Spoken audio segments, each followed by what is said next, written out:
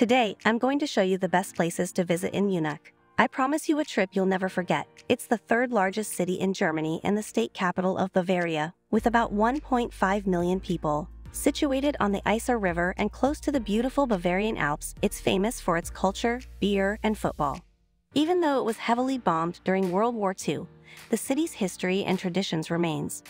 Before we start, I'd like to say sorry to any German people who hear me because of my bad pronunciation. Starting my list with a large park next to the Hofgarten, Englischer Garten. It stretches from the city center and extends almost to the city outskirts, making it one of the largest urban parks in the world.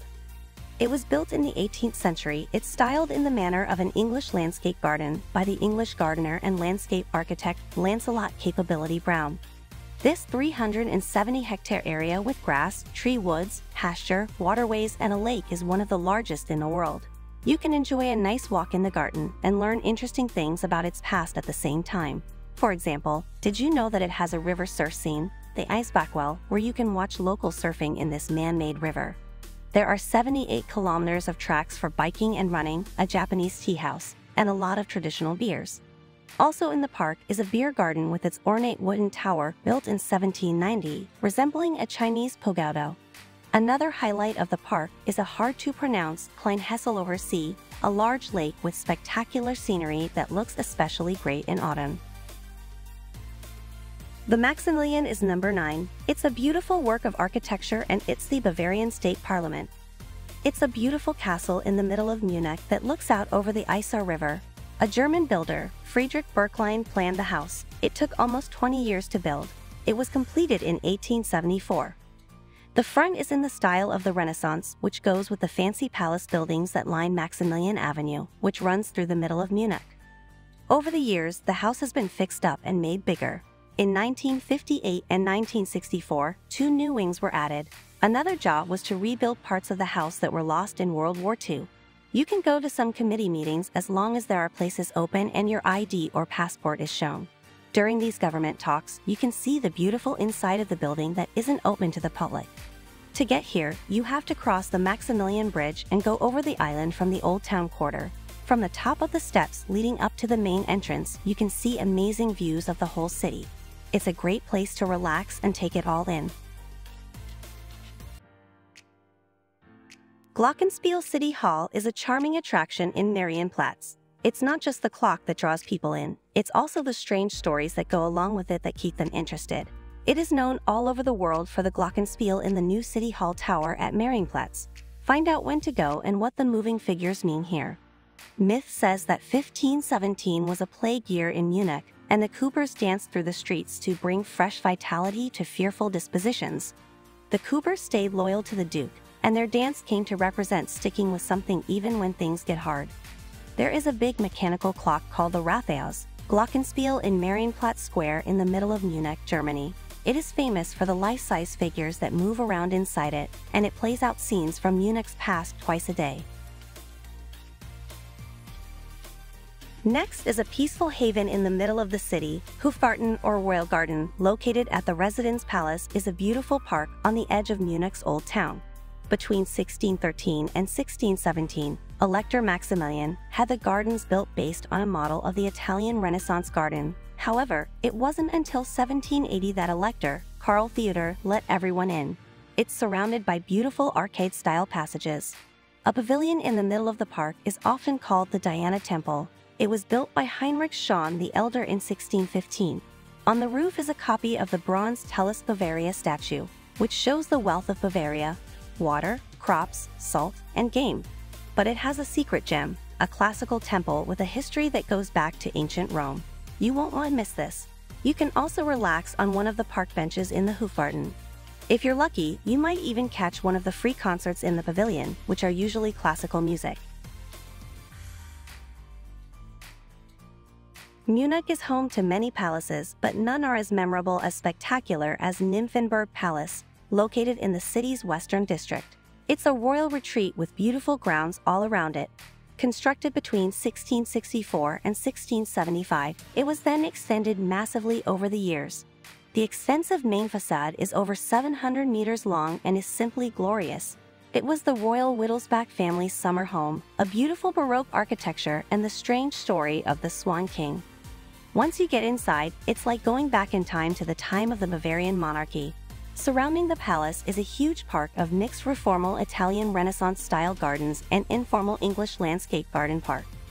The palace's large park has huge fountains, beautiful flower gardens, and the impressive palace buildings themselves.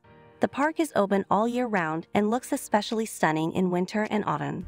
You can get to Nymphenburg Palace by taking a short train ride from the center of Munich. Next stop is a gem in the middle of Munich, right next to Marienplatz, Peterskirche, also called St. Peter's Church. It's a Roman Catholic church and the oldest church in the area and was built before Munich was a city. It has a peaceful atmosphere and dates back to the 12th century, making it the oldest church in the city. It was rebuilt and renovated many times after the fire of 1368 and the Second World War, giving it its current look. The inside is very fancy and has the jeweled skeleton of St. Munditia inside. A public clock was first put in the church's tower, which has been rebuilt several times. You have to go up 306 steps to get to the deck with a great view of Munich. Next, I'll talk about Olympia Park, also called Olympic Park, which is a sign of Munich's strength. This huge park was the center of the 1972 Summer Olympics. While many other former Olympic venues are forgotten, it's still a popular place to spend the day. It has many of the impressive venues for the Olympics that are still used today, such as the Stadium, Olympic Hall, and Aquatic Center. The Olympic Tower, which is 291 meters high, is another highlight of the park.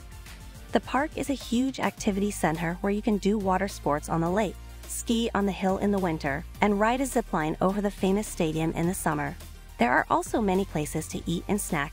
The park has also been the site of some important historical events. It's only a short walk to an important square in Munich called Odeonsplatz.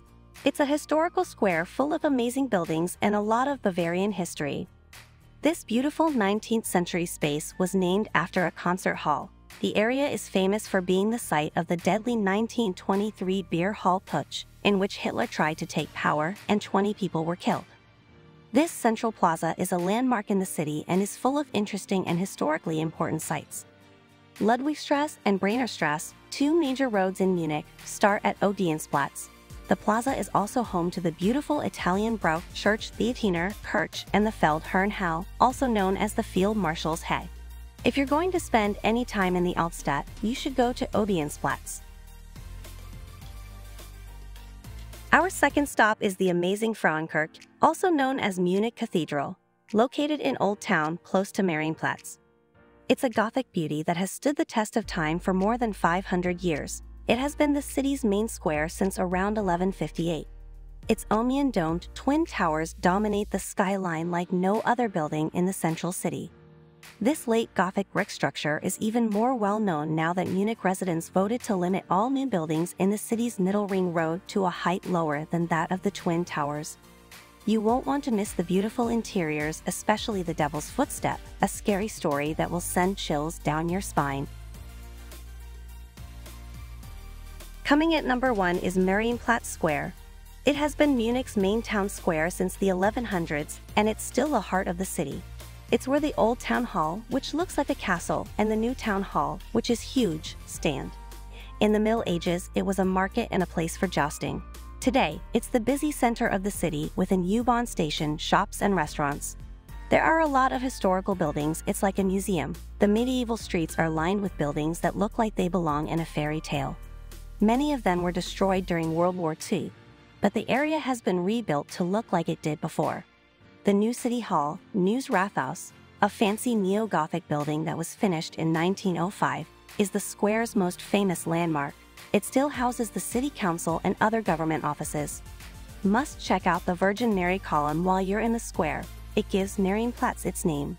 In 1638, Maximilian I added the column that named Mary as the new patroness of the city. Don't forget to subscribe, hit that bell. Until then, keep exploring.